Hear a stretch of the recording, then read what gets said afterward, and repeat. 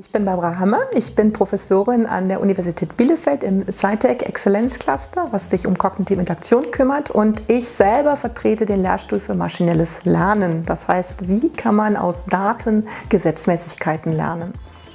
Also die künstliche Intelligenz beschäftigt sich ja damit quasi ähm, Technologie intelligent zu machen, dass wir die Intelligenz, die wir Menschen zeigen, die Maschine bringen. Und da sehe ich ähm, erheblichen Nutzen, weil wir so sehr viele Tätigkeiten, die eben ähm, sehr aufwendig sind, automatisieren können, sofern sie durch Regeln beschrieben werden können. So etwas wie zum Beispiel langweilige Mails automatisch beantworten, weil die immer jedes Mal gleich beantwortet werden. Das könnten wir automatisieren.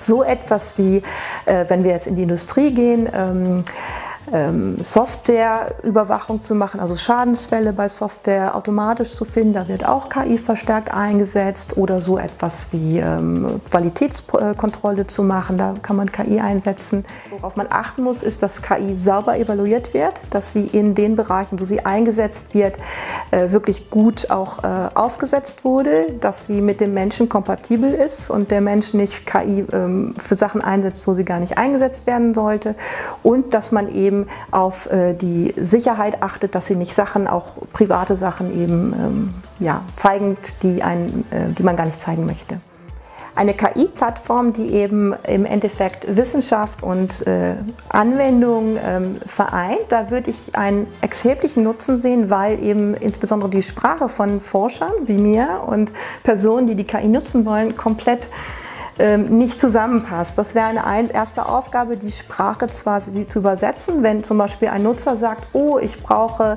für meine Produktion einen virtuellen Sensor. Das heißt, ich brauche etwas, was als Sensor selber zu teuer ist, aber ich messe andere Daten, aus dem ich diese Sensorik dann errechnen kann. Dann würde jemand sprechen von einem virtuellen Sensor, ich würde sprechen von einer Regression. Und das äh, ist zum Beispiel schon eine Inkompatibilität, wie man diese Sache übersetzt.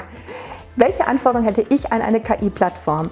Ich wäre ja adressiert durch eine Plattform als Forscher, also wenn ich sie selber benutzen wollte. Ähm, ich gehe jetzt mal ganz in die Praxis. Zum Beispiel, was, was sehr interessant ist, wir haben hier an der Universität häufig sehr hochmotivierte Studierende, die eine Masterarbeit schreiben wollen und was quasi so ein erster Schritt ist, um mit ähm, Anwendern in Kontakt zu kommen. Und das wäre zum Beispiel eine ganz kleine Sache. Es wäre klasse, wenn da so eine Masterarbeitsbörse dabei ist. Oder auch eine äh, Sache wie, ich habe einen sehr schönen neuen Algorithmus, den ich auch auf praktischen Daten testen möchte. Wo kann ich das denn, äh, wo ich, bekomme ich denn realistische Problematiken und realistische Daten, um meinen neuen KI-Algorithmus zu testen? Das wären zum Beispiel Sachen, wo ich mir selber auch von einer KI-Plattform ähm, etwas verspreche, dass sie mir als Forscher tatsächlich nutzt. Umgekehrt denke ich, hoffe ich, dass das natürlich für Unternehmen hochrelevant werden wird, die eben dadurch befähigt werden, KI ähm, in die Praxis zu bringen. Und da ist, glaube ich, sehr wichtig, dass man halt die Kompetenzen und äh, Problematiken, die die Personen haben, matcht. Also dass man halt genau diesen Link herbekommt. Welches Problem lässt sich mit der in OWL ja unglaublich vorhandenen Kompetenz mit wem, welcher Person am besten adressieren? Das würde ich mir versprechen davon.